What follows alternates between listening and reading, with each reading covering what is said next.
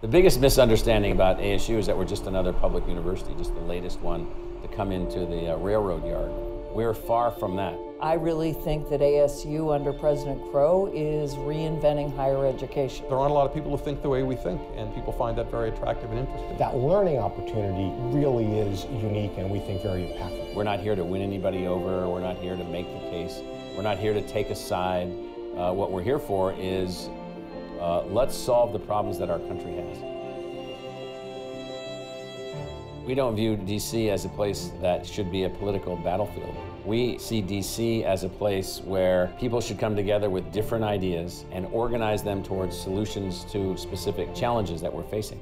In order to do this, you need to walk the halls of the Congress. We need to be with the international development agencies. We need to be potentially with the corporates, think tanks.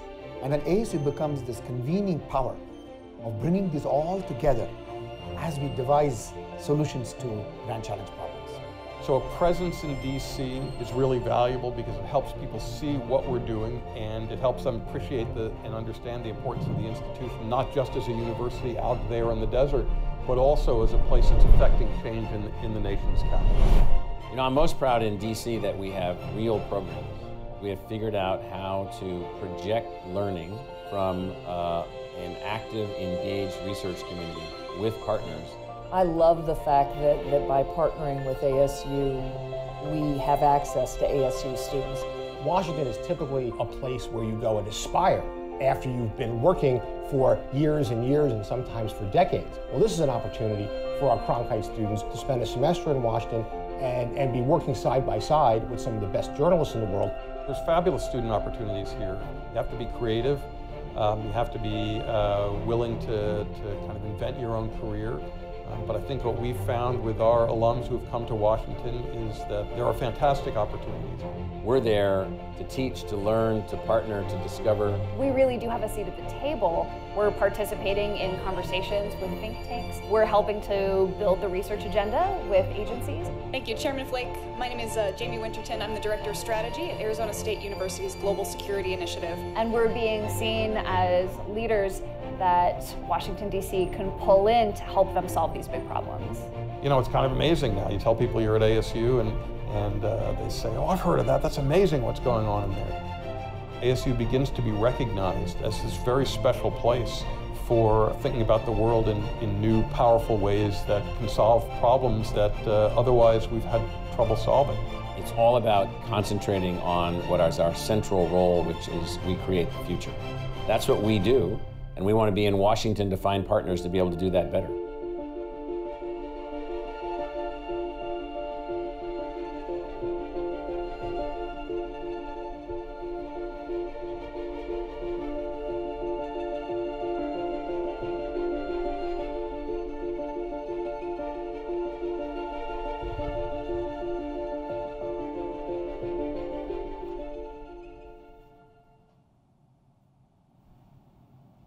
Thank you.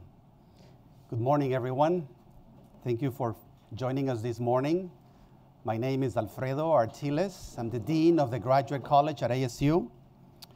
Uh, in partnership with the Council of Graduate Schools, we're proud to host today's event. I want to acknowledge CGS President Dr. Suzanne Ortega, who is joining us this morning, as well as Dr. Jennifer Kaysen, who, um, whose team has led a lot of the work on knowledge mobilization we have been doing for the last year and a half at ASU. Uh, before I get started, I wanted to call attention to the uh, materials you have. Make sure that you review them. Some of them are related to the graduate college initiatives. And also, I want to you have a program for the event, as well as an, a feedback form. Please take a minute before you leave to give us feedback. We'll collect it at, um, at the end of the event. Today's session will address the growing need for researchers to produce knowledge about problems that matter and the attendant requirement to generate research that makes a difference. These demands have emerged in the age of knowledge power. Today's expectation is not only to possess knowledge, but also to use it with a demonstrable impact. At a time when debates about the notion and roles of evidence are taking place in scientific and public spheres, knowledge use for impact is indeed a major imperative for universities and for the ways researchers are prepared. We will share with you today the ASU Graduate College's initiative to respond to these demands through the use of knowledge mobilization. But before I describe our work in the histor- uh, I will briefly locate our work in the historical trends that have transformed the demands and expectations of researchers. At least three trends have shaped how researchers are expected to approach the production and usage of knowledge. First, we're living in an era of unprecedented knowledge production. Whereas it took about 100 years in the early 20th century to double the amount of knowledge, the advent of globalization and technological innovation, such as the internet, have reduced this time to about 12 hours. As a commentator recently stated, there has never been a time in human history when we have searched for so much data, information, and knowledge. At the same time, there has never been a time when we have gathered so much information that is useful but not used. Second, as Donald Stokes' analysis suggested a number of years ago, the role of research production in relation to technological progress and societal transformation has also shifted. This means researchers are expected to produce basic and applied research while making research knowledge accessible, engaging, and impactful. This requirement takes on a greater urgency at a global level, given the rise of inequality across regions of the world and what the UNESCO report on the social sciences described as knowledge divides. The report findings suggest that, quote, without conscious and coordinated effort, the drift of the global science landscape is towards fragmentation, lack of pluralism, and estrangement between scientific endeavor and social needs. And third, these trends have created conditions for a paradigm shift in the preparation of researchers. The traditional ivory tower model of higher education in which researchers are solely concerned with producing knowledge to advance our understanding of the subject through a single disciplinary lens is no longer viable. As Karl Popper remarked almost 60 years ago, we're not students of some subject matter, but students of problems.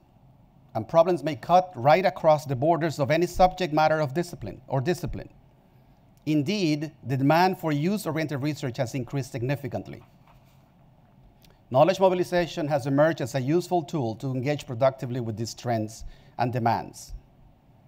Knowledge mobilization is concerned, marks the link between knowledge production and social change, between the academy and the public it serves.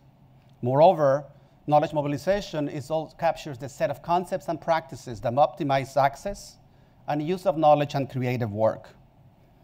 That is, knowledge mobilization transcends the traditional proper technical implementation of research, it also compels researchers to be mindful of knowledge user communities so that their knowledge is accessible, used, and impactful to solve real life problems.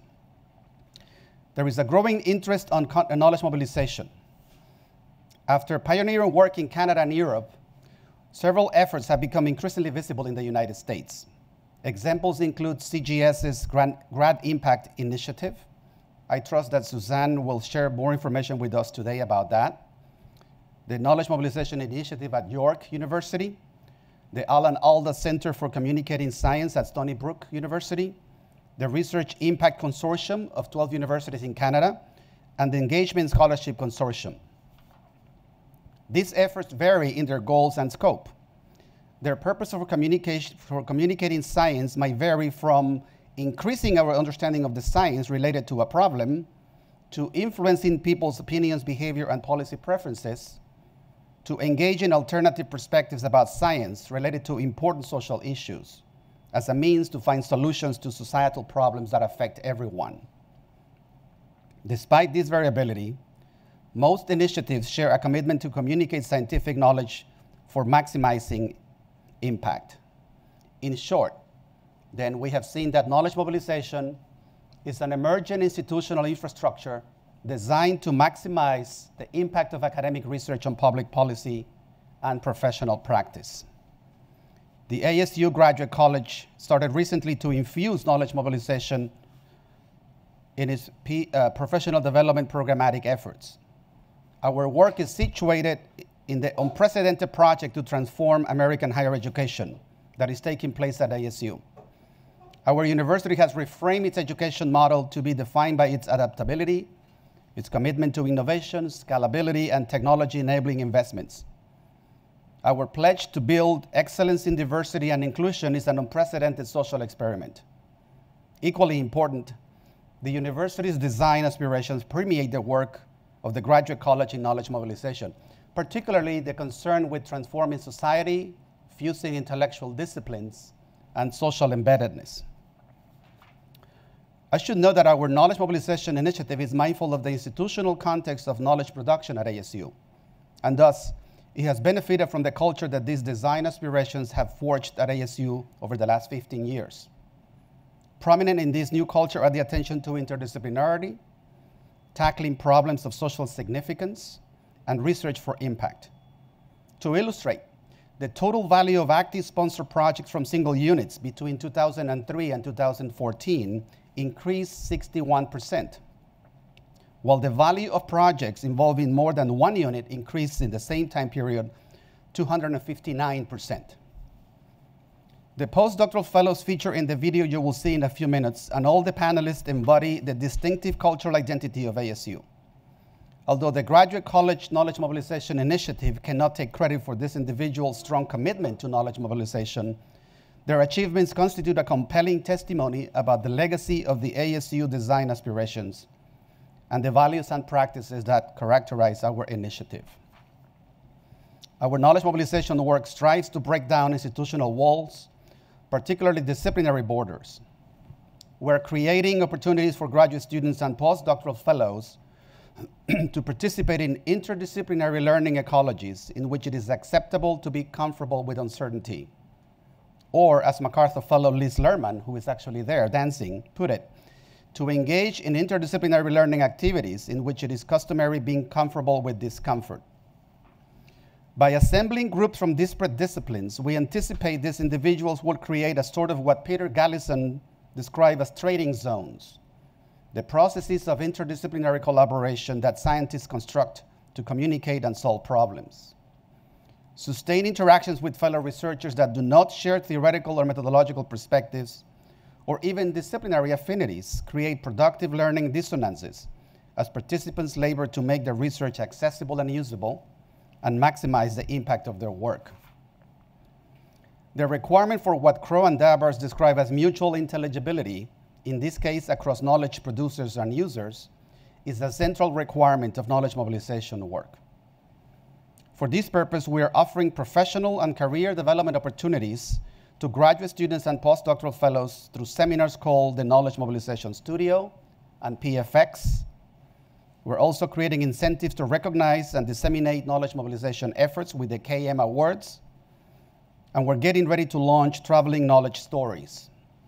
We can share more details about these efforts and CGS's Grad Impact Initiative during the Q&A portion of today's event. What differentiates our knowledge mobilization initiative is its interdisciplinary culture and commitment to innovation. We animate participants to cross disciplinary and paradigmatic borders, even beyond the academy, since universities lost their monopoly as the exclusive site of knowledge production. Grow comfortable about communicating with audiences that do not share standpoints or jargon, take risks when representing their knowledge, and leverage serendipity in their knowledge mobilization efforts. Before I introduce the panel, I will show a short video to introduce this idea of knowledge mobilization and bring the concept to life with two stories from postdoctoral fellows working at ASU.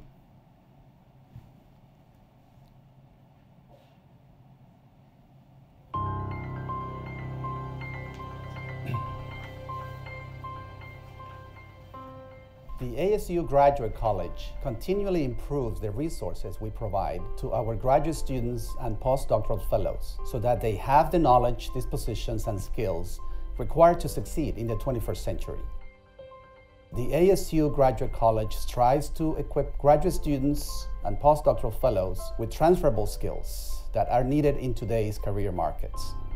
We are concerned with the so what question about researchers' labor and the knowledge they produce. Why would or should people outside the academy think that research findings matter? What difference is research making in people's lives or in reducing problems or challenges of social significance? Knowledge mobilization is concerned with making the insights and solutions discovered by researchers accessible and usable. How can we document that such knowledge made an impact on the lives of these people? The stories you're about to see illustrate what knowledge mobilization looks like in real life.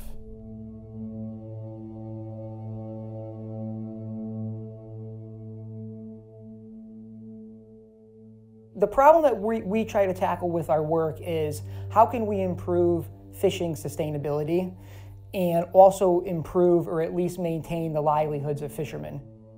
Small scale fisheries are poorly regulated. They incur a lot of what is called bycatch.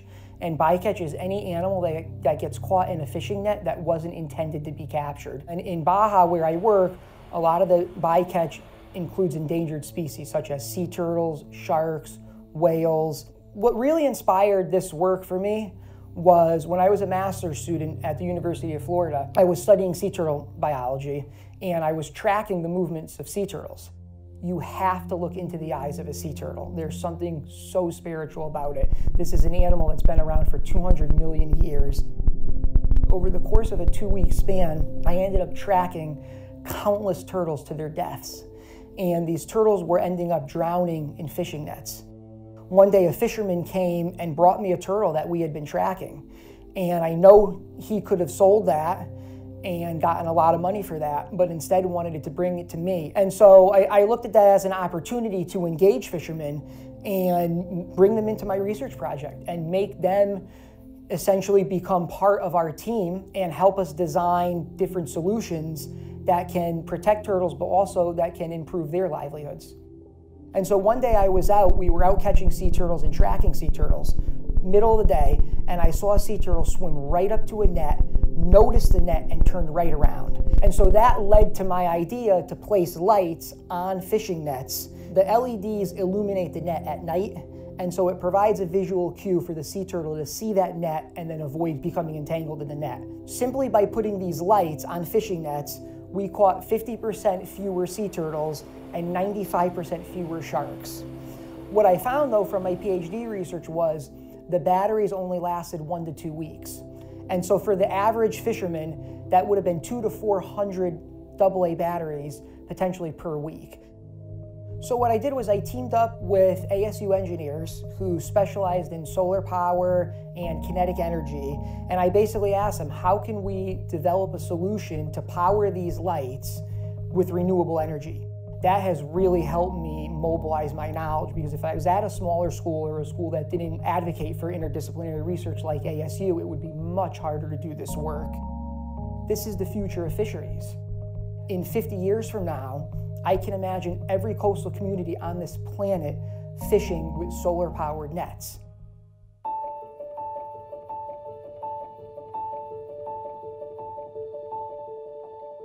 Given my background in kinesiology, uh, I learned a lot about exercise and exercise physiology and the importance of being active in order to maintain health and reduce your risk for diabetes.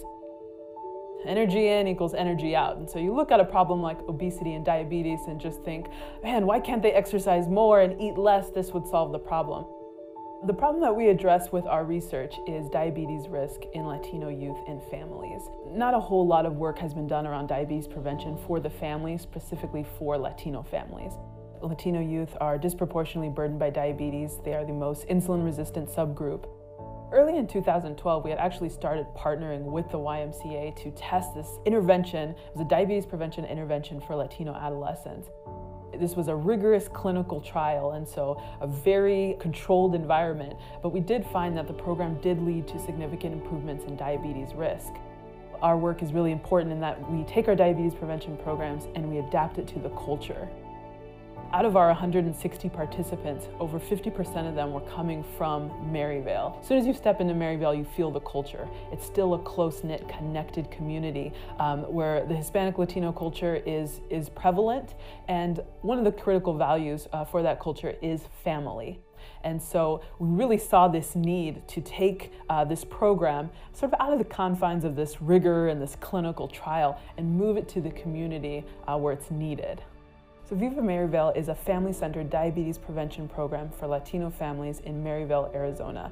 And it is conducted in partnership uh, with some wonderful community folks here in the Valley, uh, starting with the Valley of the Sun YMCA, um, who really lends their expertise in fitness instruction and they serve as the site for the project.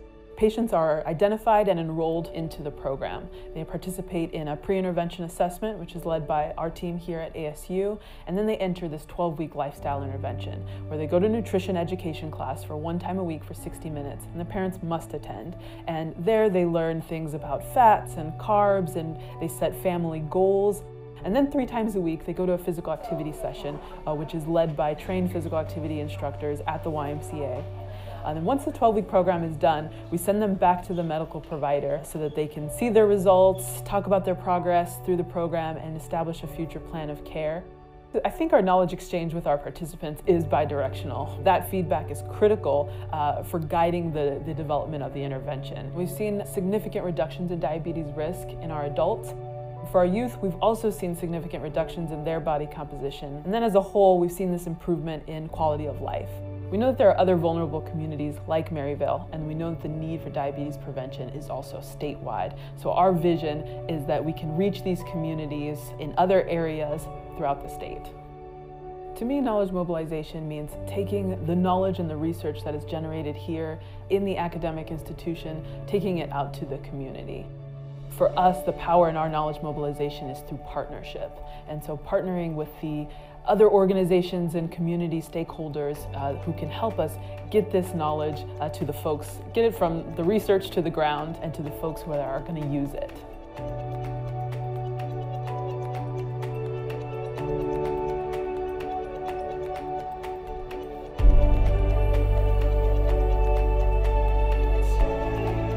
Thank you. Inspiring stories indeed. I hope that by now we have a better sense of what we mean by knowledge mobilization prepare graduate students and postdoc fellows for the rigors of conducting research, but also make sure that they are mindful of the need to make that knowledge accessible, engage people, users in the use of that knowledge, and making sure that they measure in the impact. A number of people in this room who went through PhD programs a number of years ago did not necessarily have that experience as part of our training. I certainly did not have that experience in preparing for my own research. But we're now moving to the richer segment of today's event. We're fortunate to have two doctoral students and an ASU alumnus on the panel. I'll briefly introduce each panelist, but there are bios in the event program for a more detailed description of each participant's interests and backgrounds. I'm going to introduce all of them, and then they will make their presentations in that order. Dr. Karen Gallagher earned her PhD in Speech and Hearing Science in the ASU College of Health Solutions in 2017 She's currently a clinical associate professor at ASU. She'll describe how her research and knowledge mobilization efforts aim to empower veterans. Peter Martin is a doc doctoral candidate in animal behavior in the ASU School of Life Sciences. He studied how collective personality is shaped and maintained in ant colonies. Peter will defend his dissertation this semester. Looks pretty relaxed to me. His presentation will feature how he's using the arts to communicate his research to broader audiences. Emily Sarka is a doctoral candidate in British Romantic literature with a focus on the Gothic. Emily will also defend her dissertation this semester. She'll share with us her work on the historical fluctuations in popularity and prevalence of different kinds of monsters as a lens through which to gauge popular reactions to change. Each panelist prepare a five-minute presentation to outline the key points from their work. Next, I will have a brief conversation with the panel to expand on some of their central aspects of their work, and we'll leave plenty time for interaction with all of you. Welcome, Karen, Peter, and Emily, and we all look forward to learning about your work. Thank you. Thank you. So this is Joshua. Joshua is a combat engineer in the Army and has deployed several times uh, to Iraq and Afghanistan. And in the context of his deployments, he has sustained some injuries, specifically mild traumatic brain injuries or concussions, a few of them. And he kind of did okay. Joshua did okay while he was still in the structure of the military. But when he left the military and transitioned to civilian life, to college, that's when he ended up coming to me. You see, he said, Something is wrong with the way that my brain works. I need help. I went to VA and they wrote me a prescription, actually, eight prescriptions. You see, because they tested him with the same tests that they use to test people with very severe brain injuries. And they found nothing and told him it was psychiatric. Eight prescriptions. Joshua is not unlike so many veterans transitioning out of the military. Approximately 200,000 transition out every year for the past few years and the next few years. And of them, about a third will have sustained a brain injury, with the vast majority being mild traumatic brain injuries. And even uh, according to the DoD, this is a low estimate because they largely go unreported. About 44% will also have a diagnosis of PTS. And these numbers don't tell the whole story, but what they do tell us is that we are failing a large number of our military veterans. This is me. I'm Karen Gallagher, and this is not okay with me. And I decided I needed to look at this. I needed to know why. What's going on in this transition process with these veterans? And so I started to research it. I started to look at it and try to investigate and develop some tests that might be sensitive to their subtle deficits. You see, this is personal to me. That's me, not a 12 year old boy. That is, in fact, me. Right before I deployed to war, I was US Army Airborne Nuclear Biological Chemical Specialist. And I had my own transition issues when I got out of the military. And I didn't know how to make the adjustments. You see, when I was in, you trained me how to succeed in a, a, desert environment. You trained me how to deal with the culture. You gave me a mission and you gave me a team, and I knew how to succeed. But when I got out, when Joshua got out, we didn't get that. None of us did. So I developed the Veteran Cognition and Academic Success Project, where I took on this question of what's really going on in these transitioning veterans and how can we better help them. And I got to work. I got to work with Joshua and a lot of veterans, hundreds of them at ASU, other campuses. They find me, they seek me out because they go to VA and say something's wrong with the way that my brain works, and they get written prescriptions when they want help. So I developed some tests that are sensitive to these. And I developed, it wasn't enough. I didn't want to stop there. I also developed an approach to help these veterans succeed in civilian life by learn, getting the training they need, the memory strategy training they need to succeed, by learning how to define their own mission and how to identify their team by being connected with resources that matter and that impact their lives and it worked. it worked. I got great feedback from veterans saying, I wish I had found you last semester. You know, I, I, I now have a 3.0 when I was failing. And I wanted to take this, this knowledge, what I had found, and I wanted to get it on the road. I wanted to get it out there to other researchers, to practitioners, to VA. And so I did. I took my message on the road and I presented at international conferences. I went to the media. I, I had news stories done. I gave interviews, lots of interviews. I published my findings in uh, peer reviewed academic journals. I even went to politicians and I discussed what these findings were and what needed to happen to better transition our military veterans. I wanted everyone to have access to the knowledge I found. I wanted them to be able to use this knowledge to really impact our veterans' lives as they're making this big transition. So I'm Karen Gallagher. I have the Veteran Cognition and Academic Success Project, and I am focused on training veterans in how to survive and succeed in the civilian world, how to define their own mission, and how to define their own team. Thank you.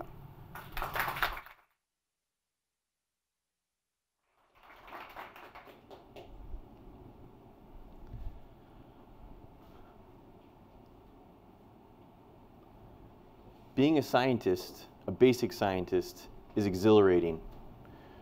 We dedicate our blood, sweat, and tears sometimes to uncover small hidden mysteries of the world that we live in using rigorous techniques and quantitative tools.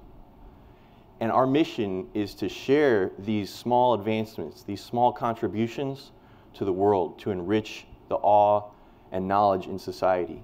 And the way that we do this primarily is through a document like this, which is for scientists a beautiful tool to engage with other scientists in an unbiased way to communicate our results.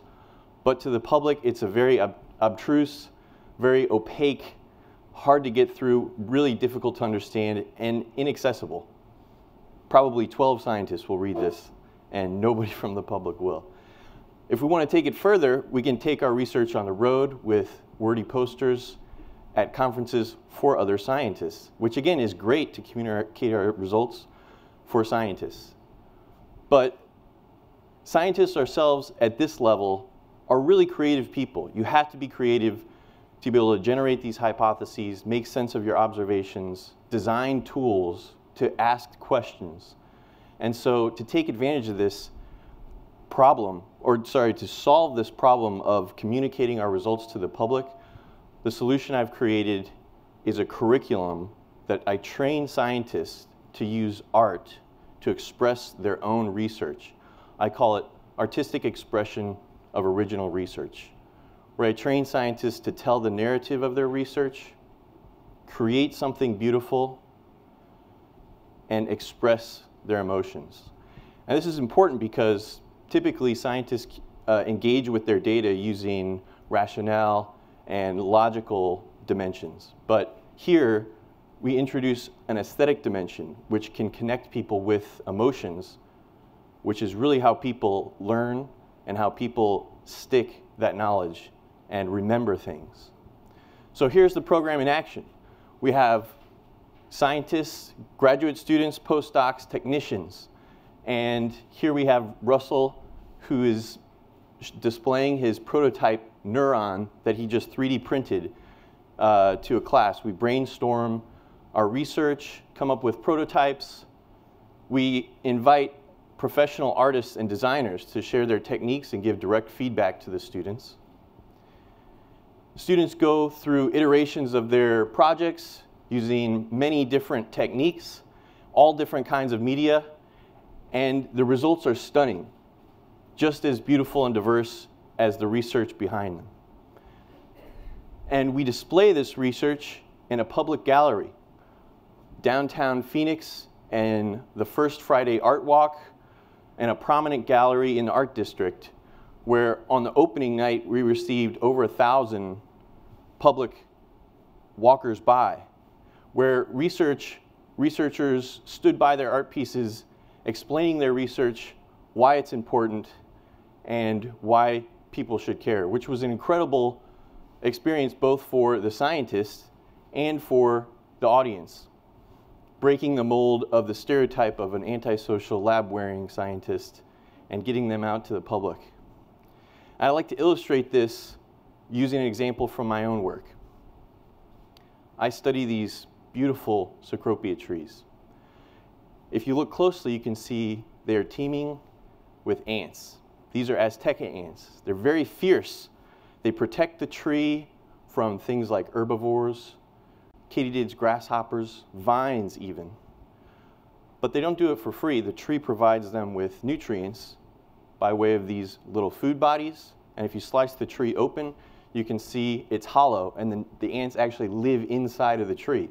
If you shake the tree, the ants will pour out in defense. And where my research comes in is I study the difference in behavior of the collective. You can see this tree on the right, after I've shaken it, has a much stronger response than the tree on the left. And these are colonies of the same size, the same height. They have different collective personalities. So I wanted to express the narrative of this collective personality using the beautiful structure of the tree and expressing this emotion of almost a magical interactive piece. By shaking the tree, you can see the ants come out. So I created Tree of the Glowing Symbiont, where I have the lights of this tree synchronized with the patrolling data of the ants on the tree. And because I'm looking at the difference between colonies, I created a whole forest. Five trees in total, where the audience can walk amongst the trees and see the difference in behavior of those ants themselves. I don't even have to explain them. They can see the blinking patterns between the trees are different. And my favorite part is you can walk up to these trees and I've outfitted them with a vibrational sensor. So you can shake the trees and they respond with the data of the colonies that actually responded to the vibration. So through this example, uh, it's been shown to have a lot of impact on the public, was shown in a gallery for four months in Phoenix. And I can see this program uh, being, it, it, has been institutionalized at ASU, now being offered every fall semester um, for scientists. And I could see this program being offered at other major universities uh, across the US and across the world. Thank you.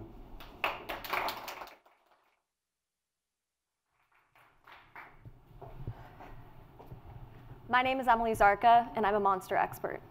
I believe there is no better barometer of the values and fears of our society than the monsters our cultures create.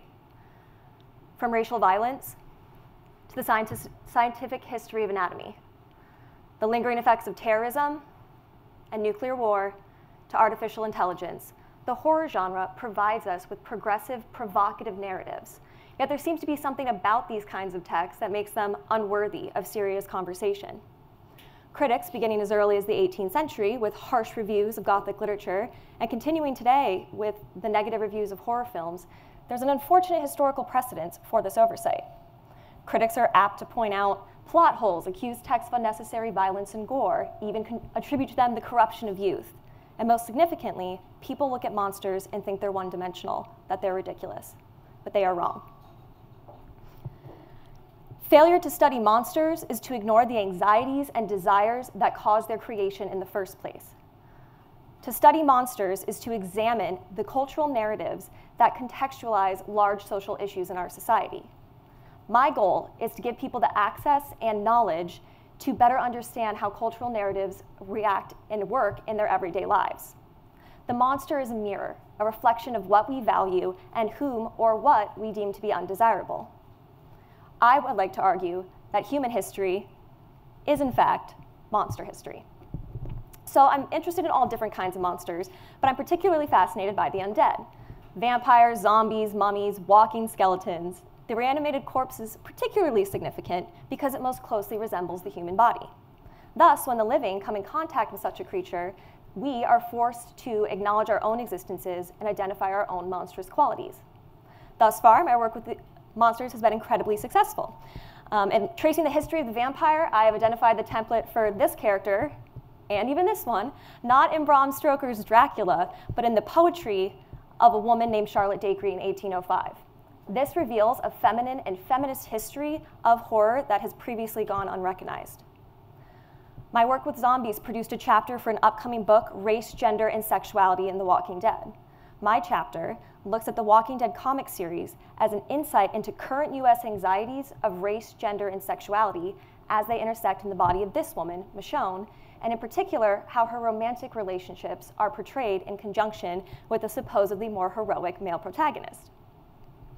I wrote an article for Slate magazine looking at the last 15 years of zombie films as a way to explain changing global opinions of science in our everyday lives. This publication received over 7,200 page views in less than a week. A link I tweeted of the article appeared in over 4,000 news feeds on that day. I'm always looking for new ways to teach history through monsters. So in addition to teaching upper level courses, my knowledge of the horror film has led me to be a reoccurring guest lecturer in four introductory film and media courses, each averaging 100 students. I'm an active participant in the Frankenstein Bicentennial Project, a two-year interdisciplinary effort by ASU to engage the public with Mary Shelley's most famous text. My contributions include this museum-style library exhibit, and I also provided annotations for a forthcoming MIT Press publication of Mary Shelley's text, which will be available for free online to the public. I've spoken at I've spoken at a local horror convention, but I've also presented at seven international and national and international academic conferences. I even went to a local middle school this January and taught three classes of sixth graders about ancient Egyptian burial practices and social hierarchy using mummies. In the future, I hope to mobilize my knowledge of the monster to publish books for both public and scholarly audiences. But for the greatest impact, one day I'd like to have my own television show on a network like the History Channel or the Discovery Channel, where I would travel the globe visiting different countries and communities and exploring the unique monsters in their individual histories. With viewership reaching over a million people on each of these networks, such a project would expose a wide audience to the complex historical and social motivations that have caused every single culture since the beginning of time to create monstrous bodies. My work shows that there is an approachable way to engage everyone from children to academics in thoughtful conversation about larger social issues. The monster is a way to talk about poverty, racism, sexism, discrimination, and the social condition in a way that's exciting and approachable. To understand monstrosity is to understand humanity and to impact how it advances in the future. So I ask, what are you afraid of? Thank you.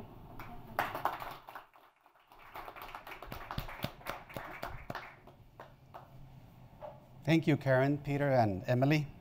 What a stunning representation of approaches to knowledge mobilization from sustainable fishing to community interventions for diabetes to critical analysis of monsters and holistic interventions for veterans and the fusing of arts with science.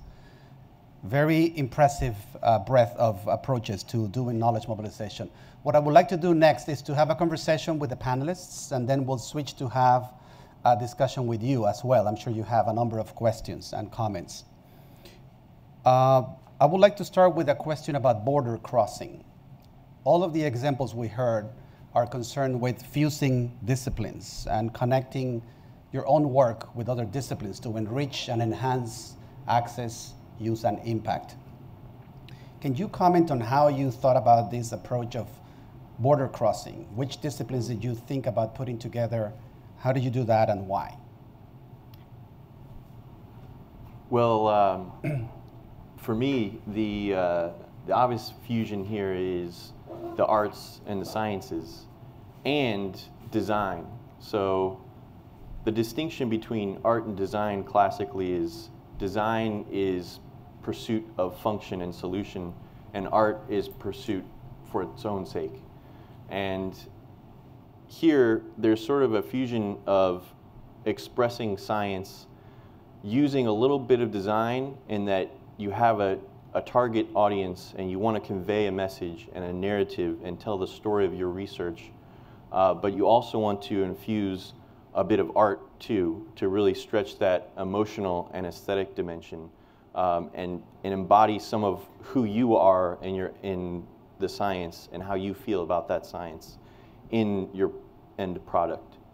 Uh, so that fusion um, has been really interesting working with uh, artists and designers at ASU and learning about how they approach uh, their issues. I think um, for, for me, some of that border crossing came at the intersection of clinical practice and research. Because oftentimes, to get some research to clinical practice takes decades. And I don't feel that we have decades. So, trying to make the research translational today was, was you know, by making it clinically relevant, um, not just researching you know, what's going on from a neurological perspective, but this more holistic approach um, and bringing in multiple disciplines, but also at a, at a clinical level immediately. Um, for me, I think there's a misconception that literary scholars, all we do is look at texts. We just look at novels and narratives and that's it. And maybe for some people, that's how they approach it. But for me, I truly think that we have to be interdisciplinary scholars. So for me, it's not about just being able to read literature. It's being able to talk about film and media studies, gender and sexuality studies, race theory, religion. I consider myself also a historian. I have to have at least a passing knowledge of the history of medicine, of science, of politics.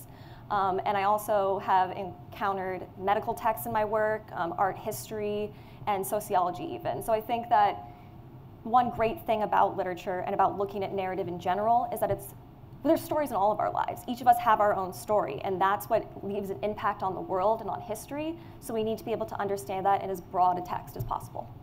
Thank you. Uh, I quoted in my presentation Liz Lerman's challenge to researchers about being comfortable with ambiguity, uncertainty, and discomfort. According to the Keck Futures Initiative of the National Academy of Sciences, they concluded that when you do that, that's when intuition and imagination take over. As you enhance the interdisciplinary nature of your research and knowledge mobilization efforts, you likely faced various kinds of theoretical, methodological, and or disciplinary discomforts.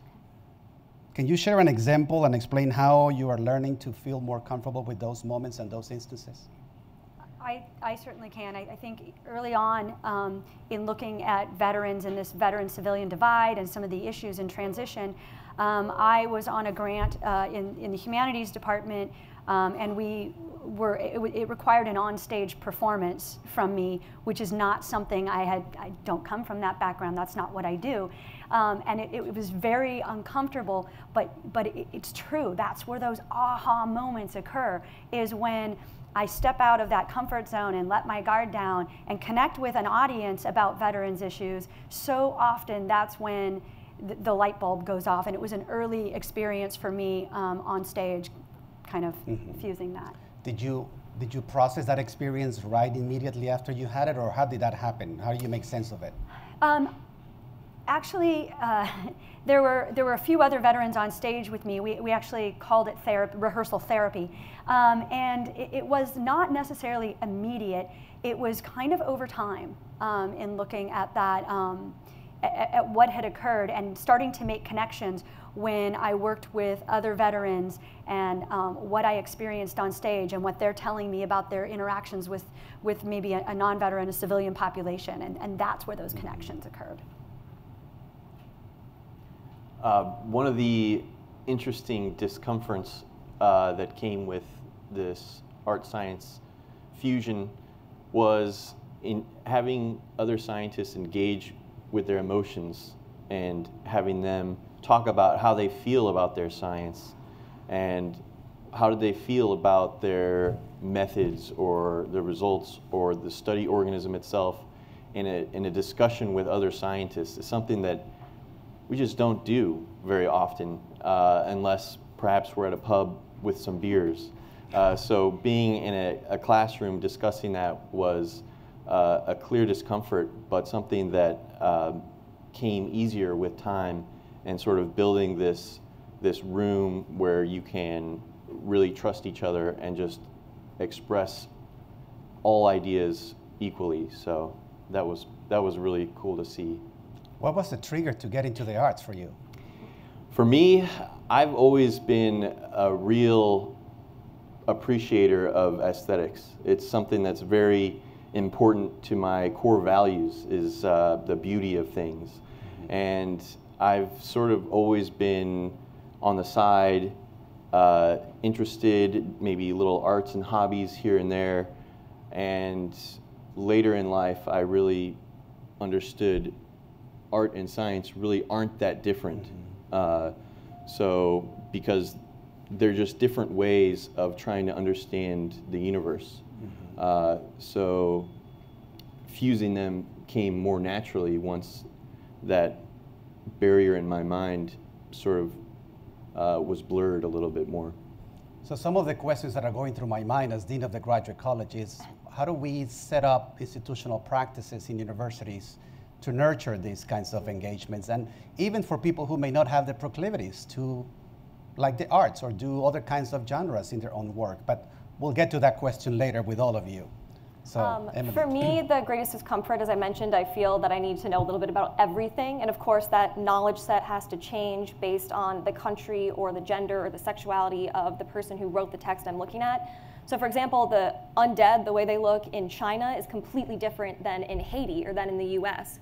So, for me, I'm always trying to juggle. I always like to say there's only so much space in my brain, and I have to kind of shut off certain parts and delete knowledge from others. But I have to sit with that discomfort. And I think that's actually a progressive and productive thing because it forces me to reach out and call people like doctors and say, hey, would a dead body do this? Would it do X? And allow for education to happen between disciplines. And I think just being present and even being on this panel and having these conversations is a way to move forward in the future for it to be less uncomfortable and more exciting. What are the kinds of responses you get when you talk about these things? uh, um, varied. Uh, I think, and this is another discomfort and attention that I feel, is for older scholars in my field, I'm constantly coming across conflict about, there's always that sort of shock moment, right? When it's like, oh, well, what do you study? And I'm like, monsters. That's literally what I'm getting a PhD in. Yes, I've spent six years doing this. Yes, I can get jobs doing that. Um, just because people, like I said, don't think that it's something serious, that it's something that we should be looking at. And I'm trying to change that, absolutely. But when I actually give presentations and when I talk to people, even one-on-one or in classrooms, about what are you afraid of? What were you scared of as a child? What are you afraid of now? Let's talk about how our idea of a terrorist looks today, or how what our idea of a vampire is and what that means. Um, and once you start getting people involved in those conversations and start pointing out the connections, people get really excited. As I mentioned, it's something, we're all afraid of something, and monsters are everywhere. So once we start talking about them, I think it actually becomes a uniting force and a way for us to identify with each other. When I was in my PhD program at UVA in the early 90s, I had to take a number of risks. I, my work is on disability policy, and I was very eager to understand those issues from anthropological, sociological, historical, philosophical perspectives beyond psychology and education. So I had to take risks to go outside of that program to begin to understand those things at the time when interdisciplinarity was not sexy. And uh, that represented a number of risks I took in my work. It worked out for me because then it became a very important way of engaging our, uh, the, the, the work that scholars do. But I'm wondering about the risks you're taking as you do this work. What kinds of risks are you taking as you do interdisciplinary research and knowledge mobilization? And can you share some examples and what have been any consequences you might have faced? I guess I can start. Um, kind of going off what I was just saying is my biggest risk is people taking me seriously, talking about what I talk about. Um, so I have to be even hyper vigilant about my knowledge and what I can say. Um, but the biggest thing, I guess, is sticking with it. Um, I actually won a prize for Best Graduate Student Paper at an international romantic conference, um, my second year in the PhD program, first conference I'd ever gone to. And so there was a board of people who read every graduate student paper and decided my ideas, my paper was the most successful, it was the best. And so with that was supposed to come a journal publication. And I expanded the article, went through it, my entire committee approved of it, everything was hunky-dory, or so I thought. Um, and the editor of the journal actually refused, even though I was, they were obligated to print my piece, refused to send it even to reviewers. And he actually advised me that I needed to completely shift direction in my research or that would be a detriment to my career. Um, and that was really hard to hear as someone, geez, like a year out of undergraduate and trying, thinking that what I was doing was the right thing. So honestly, I just had to ignore it, which is hard. And of course, I don't have that publication now, and there's a weird tension there, but I'm here now. And I've had so many great opportunities following my heart and following my passion. And yes, my dissertation is about vampires and zombies and mummies, and it's awesome and exciting, and I'm here today. So sometimes I think you just have to take the risk, and then even if you get some negative feedback, just keep going. If it's something you're passionate about, you just have to keep pursuing it. What was the objection of the journal editor? Uh, ooh, see, I don't want to get too specific because it was, I don't oh, want anyone that's to. Okay. You don't no, have no, to I can say, but I can say is that he was just one of these more old school scholars who didn't think that looking at the undead in poetry, which is what it was about, was a productive way to conceptualize romanticism and Gothic genre, which to me, even now, is shocking because, okay, so Romanticism is a revolutionary period. You have the American Revolution, you have the French Revolution, you're coming out of the Enlightenment, the Industrial Revolution is starting. There's a literal uprising of bodies. Bodies from different classes are standing up and going forward. So for me, it's such an obvious connection, but I think he was just closed minded that he thought it was ridiculous mm-hmm. or not worthy of attention. What carried you through that moment of doubt? Yeah, um, support from my family and my friends, but also support from my colleagues. Um, my committee, of course, were shocked because they all thought my work was great. Um, and just hearing from other PhD students that, of course, you've been rejected from journals. It happens to all of us. There's, you know, like the ghost CV of all the things that we should have gotten publications in. But it, you just have to support yourself with a good community, and I think that, at least for me at ASU, it's so supportive that that's been a really, really easy thing to do. I, I think that that's right. because for me, one of the biggest risks was even starting on this research path um, in my 40s. You know, I'm not a young doctoral student. I had a, a clinical career uh, working at the Barrow Neurological Institute, among other, other places. And so I, I had this career and taking that risk. Um, and I often think to myself, if I had been at any other university, would I have done it? And I don't know. I don't know because there were a couple of things that converged. One being Arizona State University being one of the top military friendly campuses in the country. And so there's a large number of military veterans that I was watching this next generation of veterans come in. So it really triggered something in me. Um, but also, you know, just having the, the, the, diversity to allow me in my 40s to walk into my first stats class and, and feel okay, you know, and, and, be able to see that I could succeed. And so mm-hmm. um, I, I think that that's, yeah. So tell us more about how you started to broaden your scope of work beyond the specific intervention to get into social issues, emotional issues, labor issues, etc. What was that like? What risk did you take? Um, you know, I, I, think because I did start with this pretty focused, you know, what's going on? What, why, why, are, why are I getting, why am I getting all these veterans telling me that they're, mem- they're having memory problems or they're having these difficulties? And I started with the, the testing and realized I didn't want to just test my fellow veterans and say, yep, your memory's bad, bye. That was not going to be okay either. So um, I collaborated. I wrote a, a, grant through the Disabled Veterans National Foundation to pay a clinic to let me see the veterans for free. I connected with Disability Resource Services. Um, I connected with people who look at holistic just wellness, yoga, my veterans service organizations, all of these, uh, even, even the leadership in the Pat Tillman Veterans Center, um, my fellow Tillman scholars um, looking at, at all of those and connecting with disciplines beyond psychology, beyond speech pathology, even into audiology. Um, to look at, at, at, these issues and, and, not just how to test it, but realizing I, I, I, needed to do more than just recognize and praise the problem. Mm-hmm. I needed to do something about it. Do you think your clinical background made it easier for you to do knowledge mobilization? It did. It, it absolutely made it um, easier. I, I look at my, some of my fellow doctoral students, even just within my own discipline, um, being heavily focused um, in a specific area. And although we're all encouraged to translate that research to clinical practice, for me, it, it was, it, it was just an easy um, and obvious connection. There was no way I could pursue the knowledge I was pursuing and not at the same time try to do something about it. Thank you. Yeah, for me, um, the main risk was teaching an art class. I, I really, uh, I had a lot of experience teaching science, but I didn't know the first thing about teaching art. Uh, so for me, I, I contacted several ASU uh, professors in arts and design, and I met with them one-on-one, and I was like, how do you do this? What do you, what approaches do you take? How do you create an environment where people are comfortable talking about these things and uh, being vulnerable and you know how do you how do you create this um, timeline? What how do you give feedback? All these things. So that was a, a big risk for me uh, going in front of other as a scientist going in front of other scientists and saying let's all make art.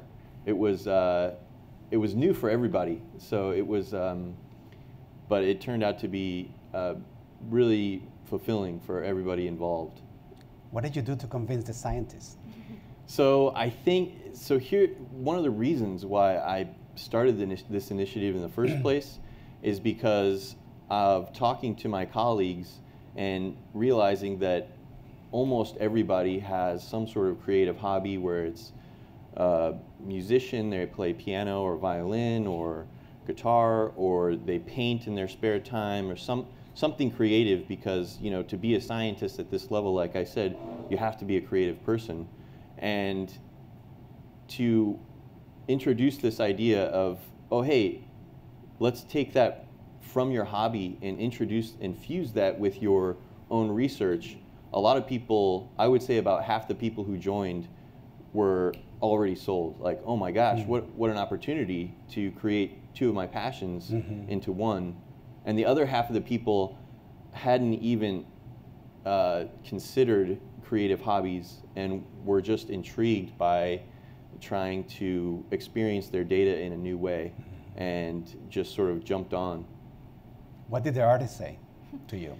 Oh, the artists, they were, uh, they were really supportive of, of the initiative. I think something in uh, art right now is uh, the influence of science it is a really big movement throughout all of the fine arts right now. Mm-hmm. Uh, data-driven art, people using numbers to and translating them in different ways through their sculptures, through their paintings, through sound, through composition.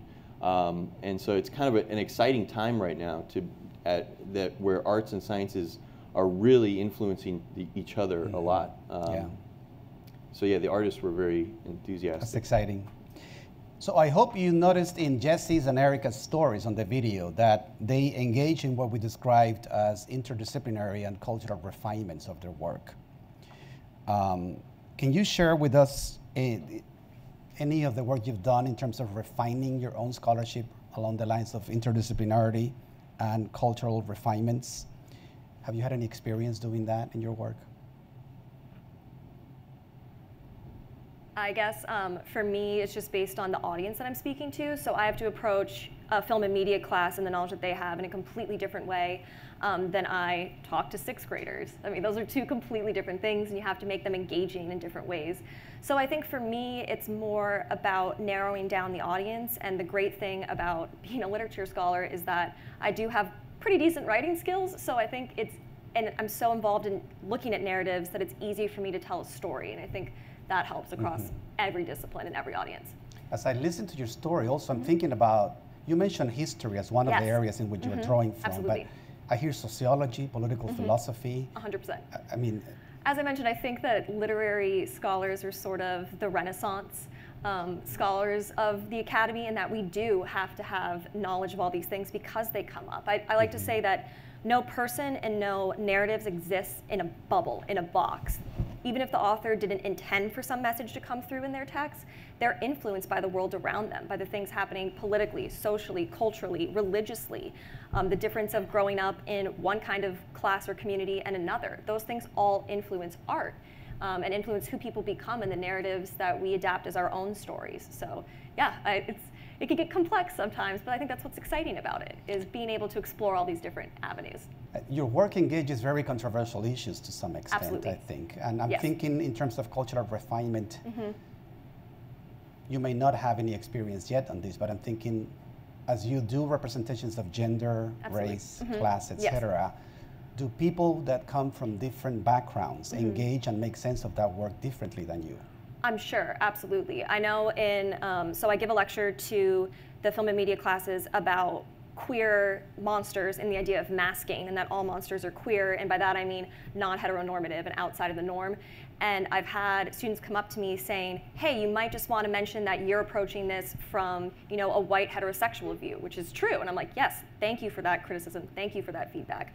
Um, but even when I teach my classes I always ask my students what pronoun they prefer to go by um, and when I wrote the article about Michonne, who, yes, is a black woman in a comic, um, I did a lot of research about black feminist authors and looking at race relations in the US. And just, so I guess every time I have to widen my knowledge, and I just have to keep in mind all the other voices and try to be as respectful of those as possible.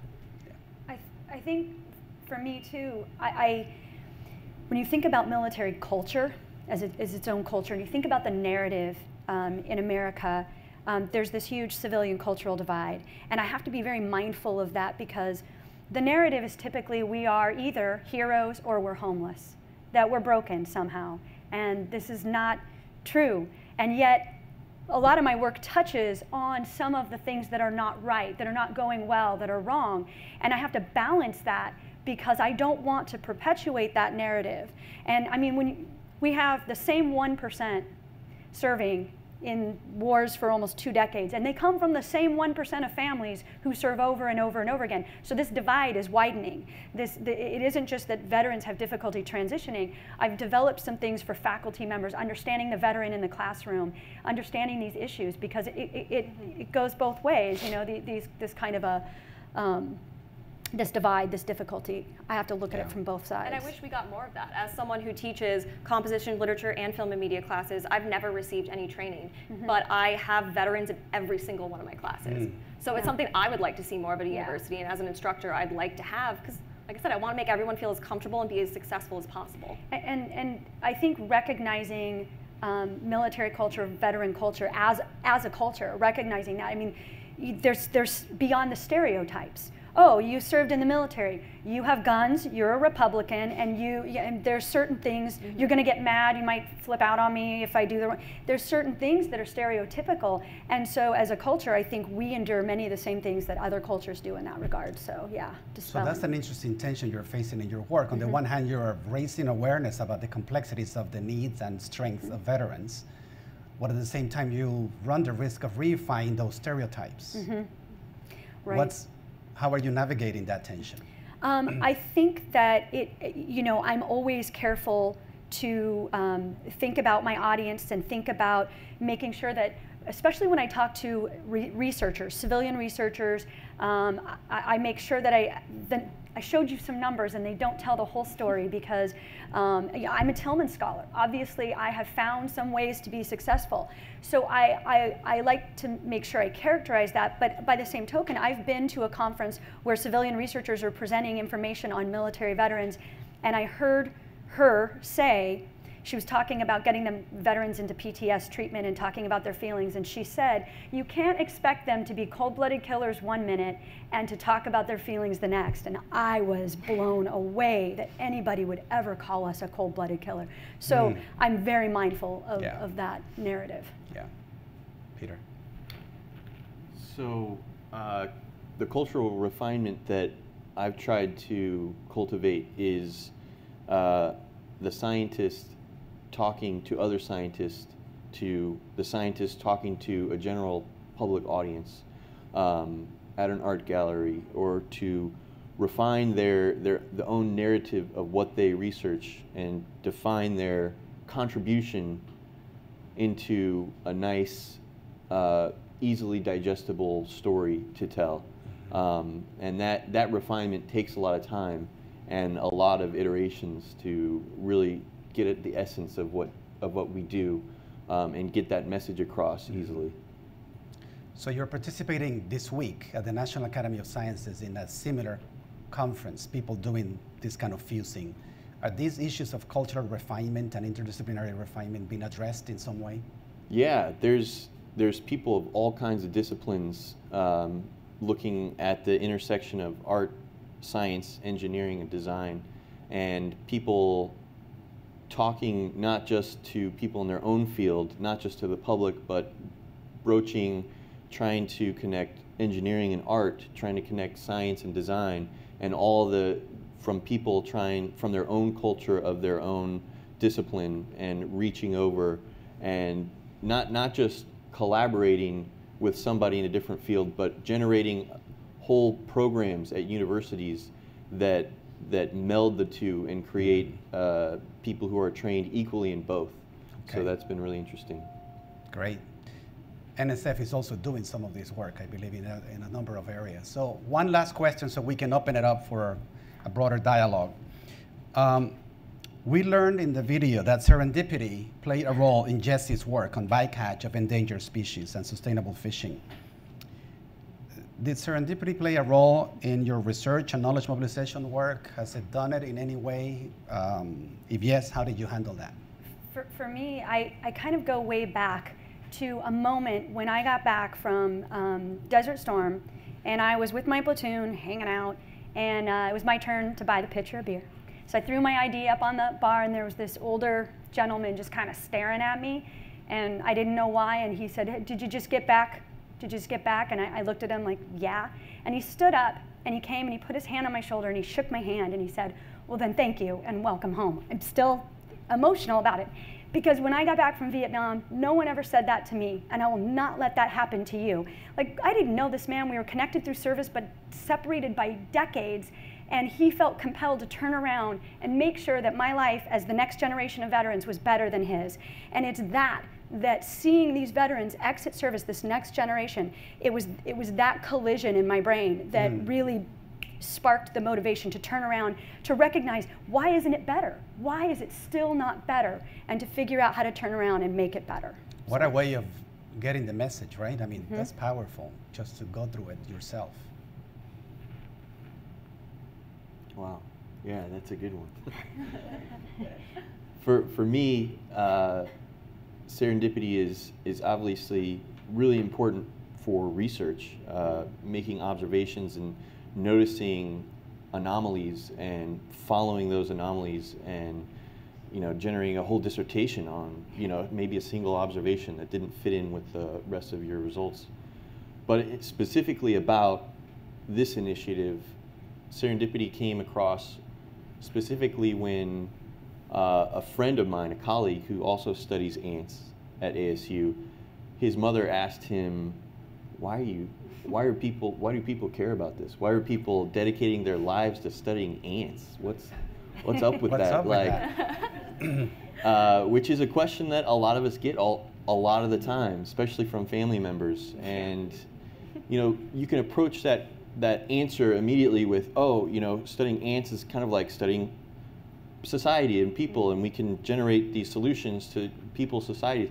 But really, that's uh, not what motivates me. So I, it took me a couple days to really reflect, and I, my motivation doesn't lie in, in solving uh, societal issues in humans. I'm, I'm just fascinated by the ants themselves mm.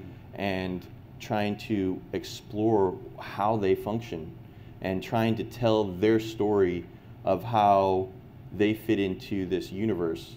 And, and that connection I, I acknowledged was sort of similar to the pursuit of art and, in, and literature and, and less about uh, engineering and applied sciences and more of pursuit of knowledge for its own sake. And, and once I acknowledged that uh, sort of boundary is really institutional and not really not real, um, I started this art course the following month.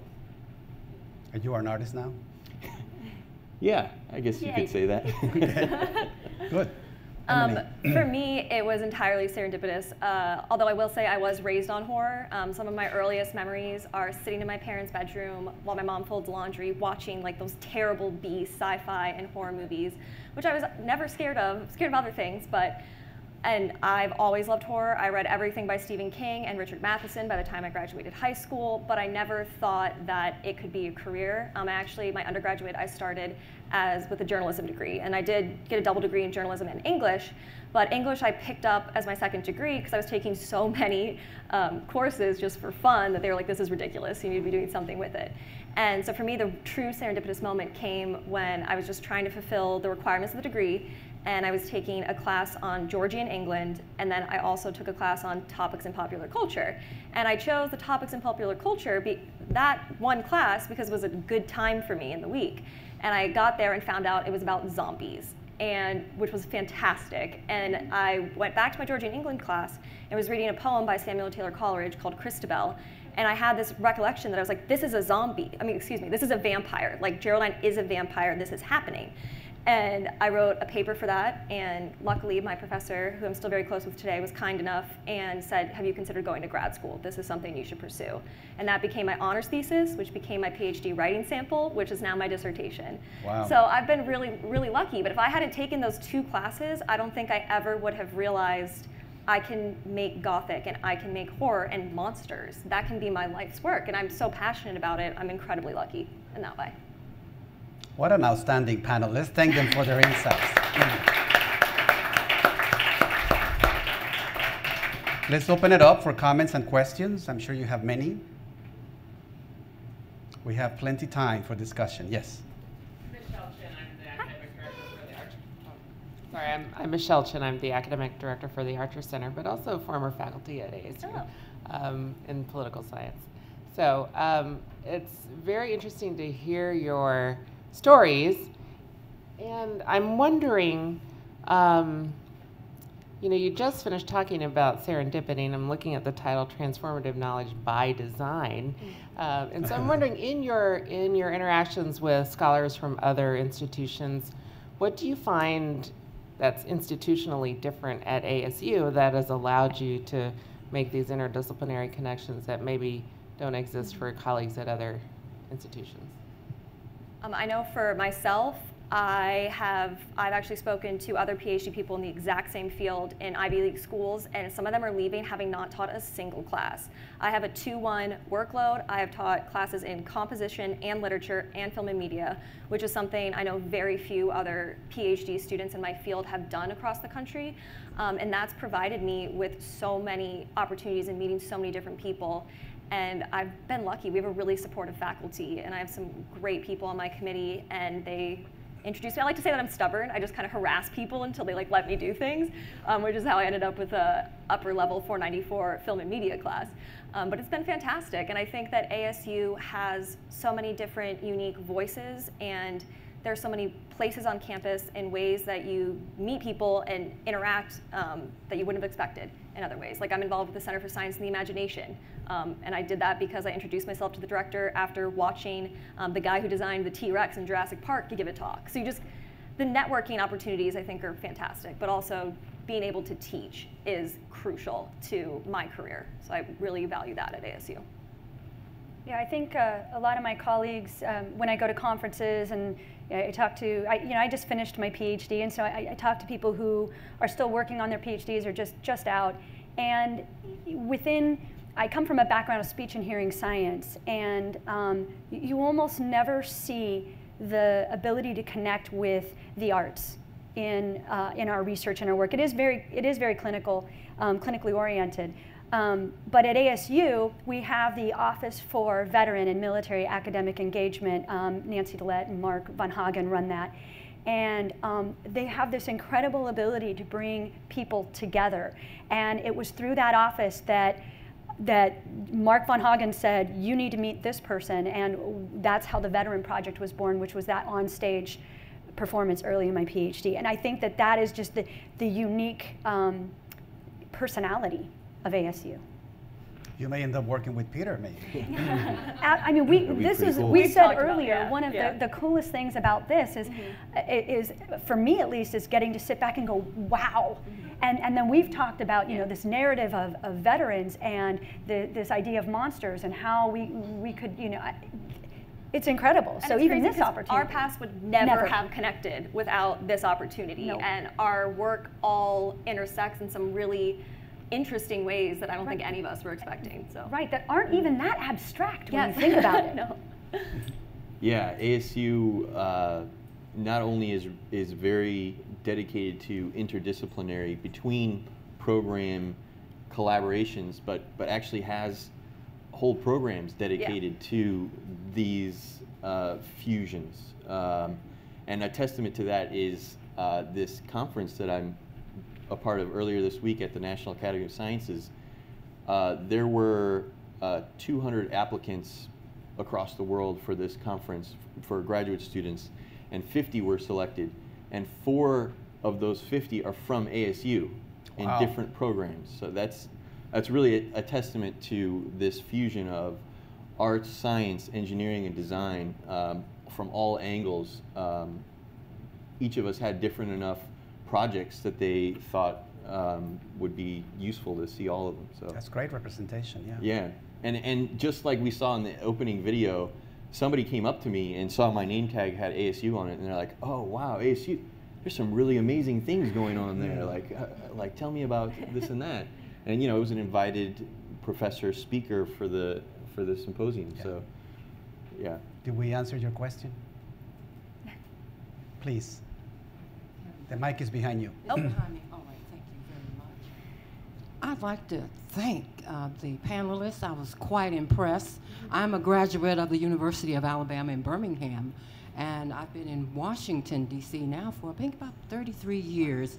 I am the founder of the, you see the flyer, the National Association of American Veterans.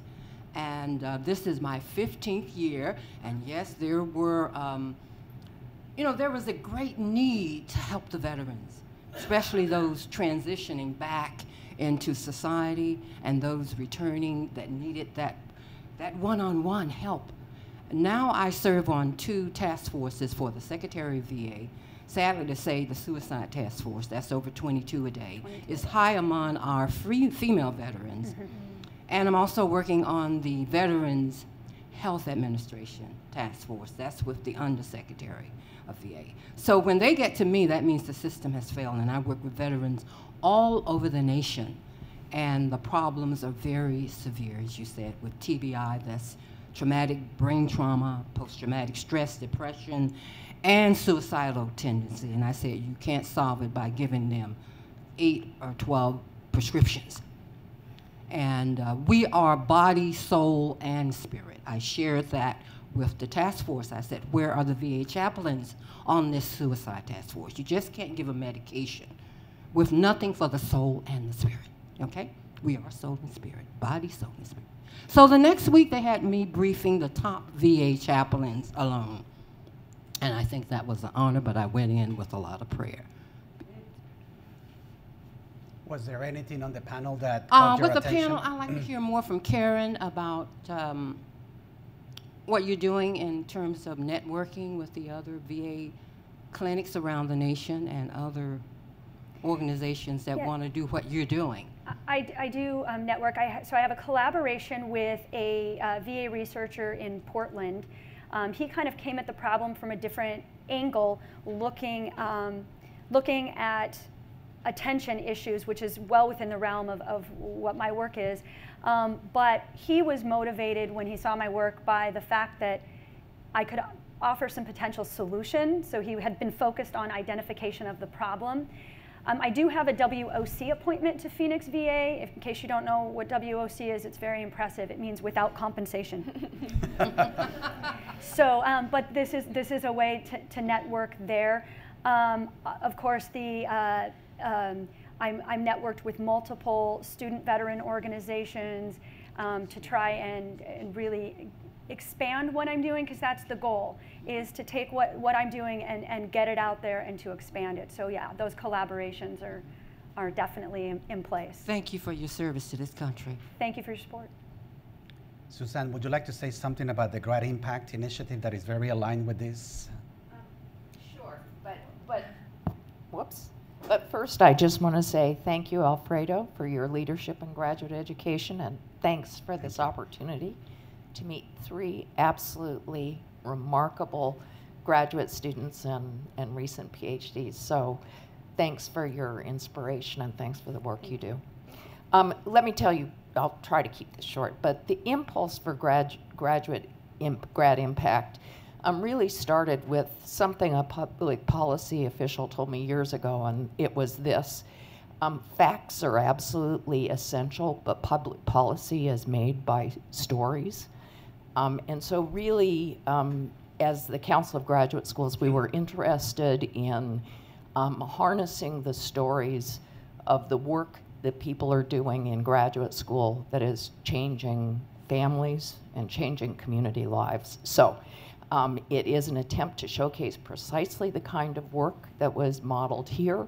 Um, in a national forum, we are in the process of both using that, um, enabling our graduate deans to use it as a tool locally and as they work with um, national um, legislators.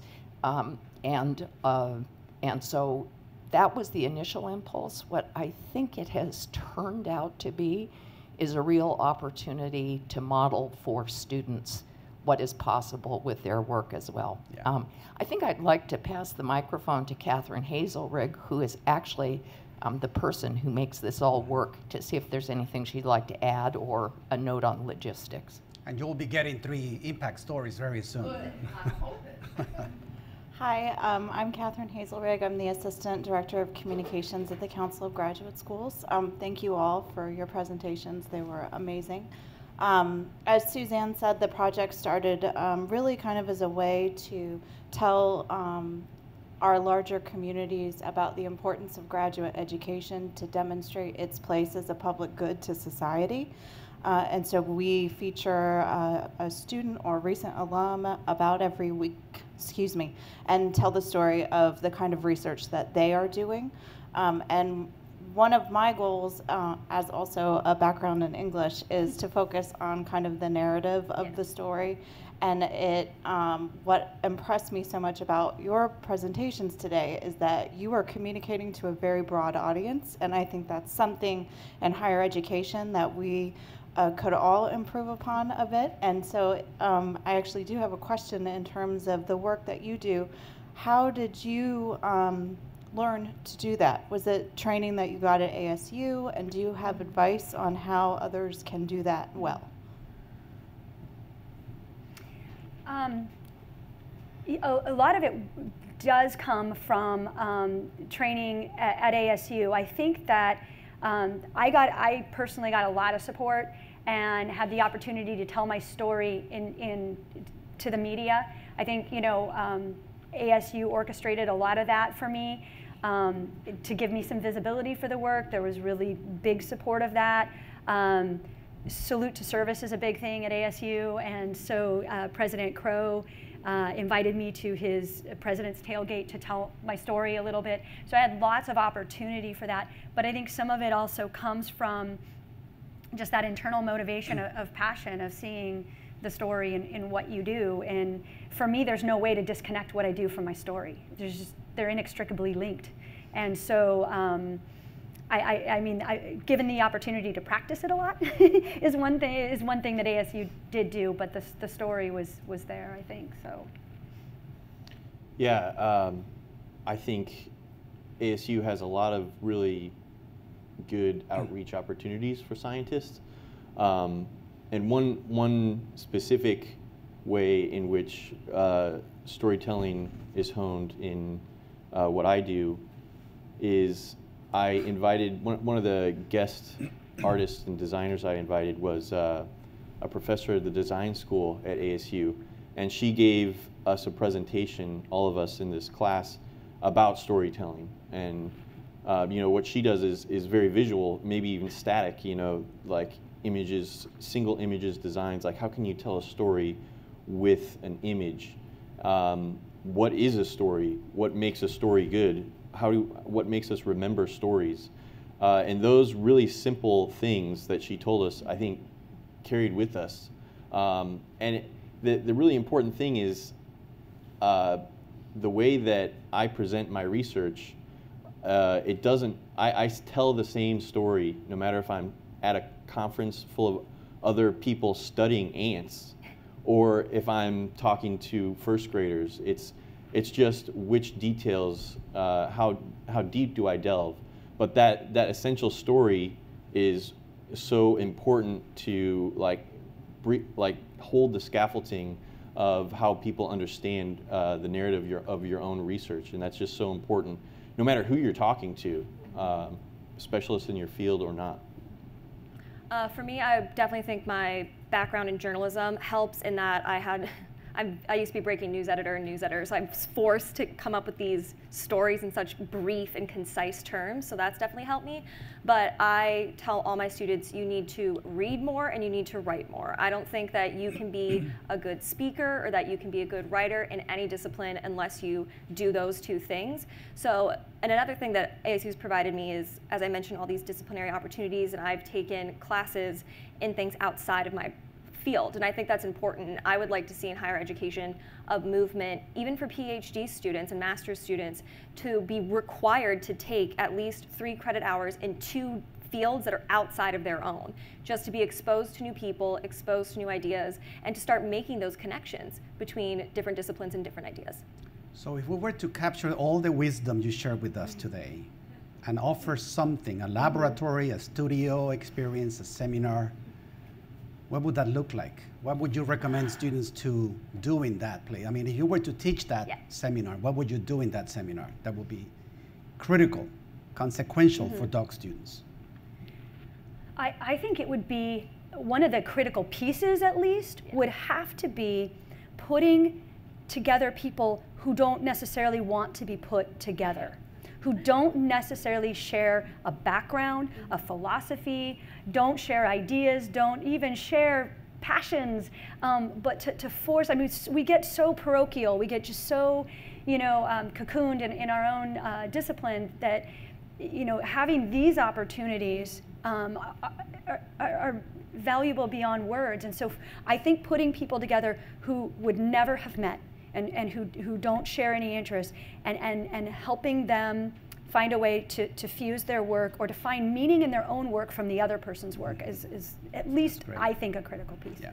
I agree. And I think thinking in terms of like assignments and projects to pair up with another person in the class in a completely different field and be like, okay, you have five minutes or 10 minutes, explain to me as a med student why I should care about monsters. To have literally have them come up with a paper or a presentation that forces them to explain their work to a completely different audience would be important.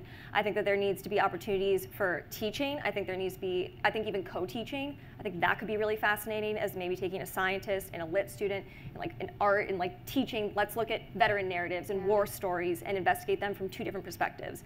Let's look at science and medical texts and even scientific journals and see what emerges in there that everyone can relate to. I think that could be really productive as well. So co-teaching and just having experience writing and speaking to a different audience. And you know, even being now in my role as clinical faculty, when I work with students who are working with brain injured patients and they want to report on their patient to me, I get a lot of facts about how many months post onset, you know, right hemisphere traumatic. Stop. What is your patient's story? This is a human being in front of you. You need to know those things, but you also need to know what's their story, what's their problem, what is it you're seeking to solve? What one thing can you look at this human being and say, you know, if I had to weigh the relative contribution of all these deficits to the overall life, quality of life of this human, what is it? Tell me that story. And I think it's opportunities like that. Yeah. Being sensitive to those dimensions, mm -hmm. I guess, yeah. Mm -hmm. Yeah, and um, one thing, one really specific example that I, I would include in this seminar or course is pairing people up that necessarily don't have the same background or philosophy, having them explain their research to each other. And then this is something I actually did in the course, which was, I think this was my favorite assignment. Then I had their partner write a little story from their, from their partner's perspective about how they felt about their research. Like how, how would you imagine you feel about this research? Or it could be really anything but like putting not just like understanding their research but trying to come at it from their a deeper perspective yeah. of your the person who just explained this thing to you. And then they swap stories and they're funny and it's like oh, what? This is crazy. Or like oh my god this is dead on. Like i can't believe you knew that. Or it's yeah this so yeah that was I think I would definitely continue that. And I think what we're all highlighting here is the idea of storytelling and of sharing, of sharing ideas. We can't like exist in this ivory tower and expect that everyone's going to care about our one little thing and to make it connecting, like to find ways to make like a web of knowledge rather than just a straight line. Beautiful. A few more minutes for questions.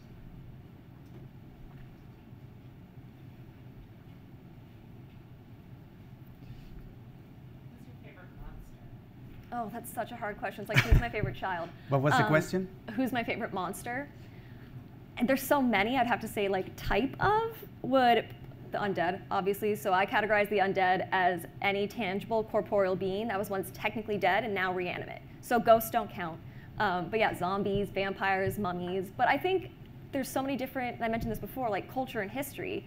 Frankenstein's creature obviously has a world of his own, but like the idea of the chupacabra or even the idea of like the lamia and these there's um i believe it's china's but don't quote me on this there's their undead is literally like jumping corpses that they just think everyone like jumps in a little line to like get to the place they need to and i just find all monsters fat what's your favorite monster I never liked monsters. There you go.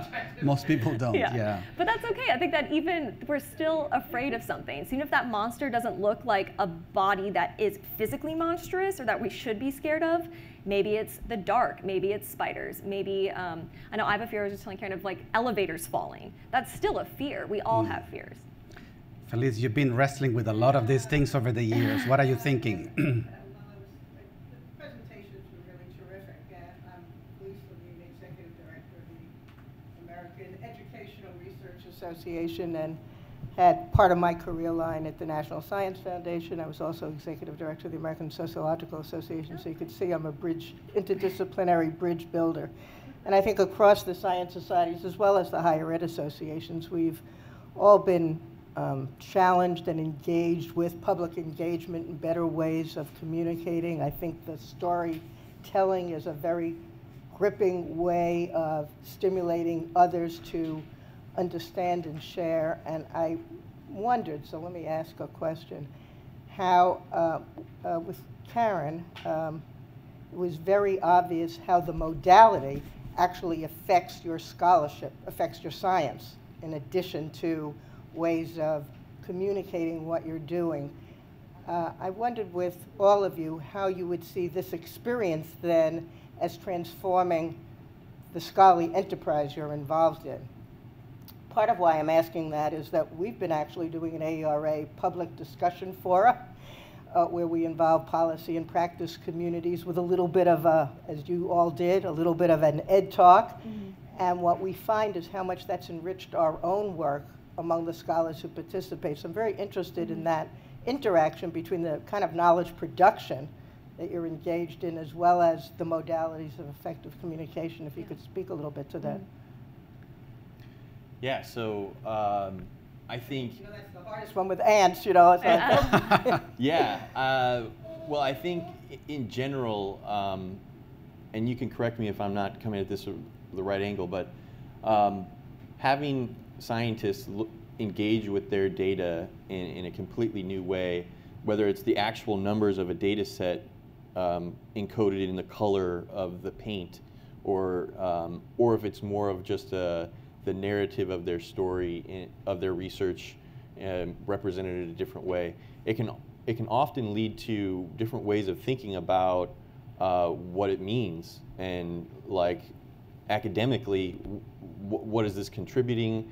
Um, seeing maybe a little anomalies that they didn't notice before or um, really engaging a creative side with things that they've discovered um, that then kind of bounced back into, oh, wow, wait, asking questions about what might take this further or, you know, for, for a really specific example of my own research, I've, uh, another project of mine, I, I've taken uh, where the ants live inside of the tree and I've turned that into like a little musical uh, song for each tree.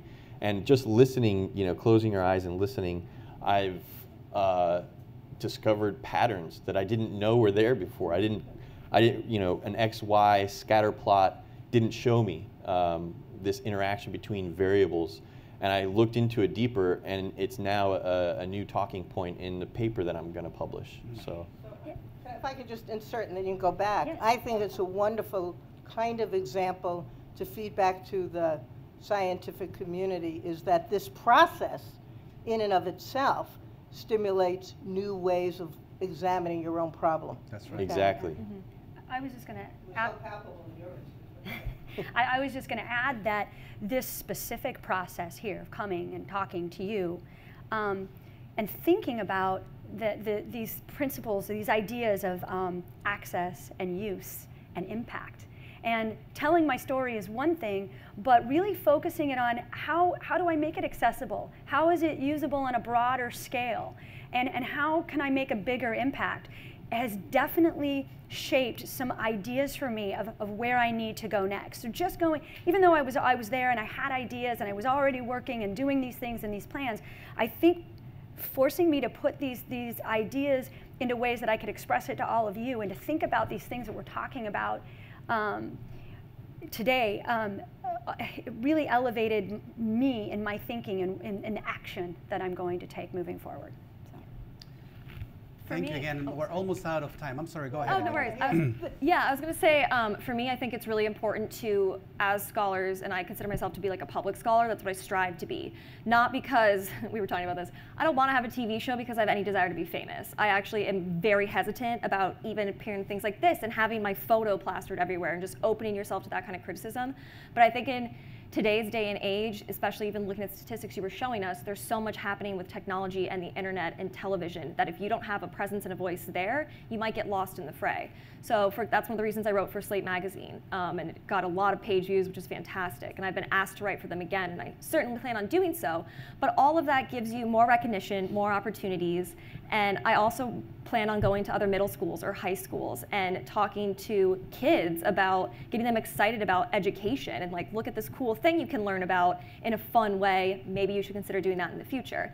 Um, in terms of my actual research and how that sort of moved and mobilized knowledge there, um, my work with mummies actually led me down a very interesting path to the idea of how female bodies are portrayed in medical texts. So one of my future um, projects is actually to look at the female corpse in scientific textbooks and illustrations and examine how gender is portrayed in those ways. Yeah. Thank you again to our panelists. Let's uh, show our appreciation. We're going to stay for a few minutes if you want to connect with the panelists. I, I want to remind you that we need your feedback. Please take a couple of minutes to fill it out, and Jennifer will pick it up on your way out. Thanks again for joining us, and we look forward to hearing from you again. I want to get a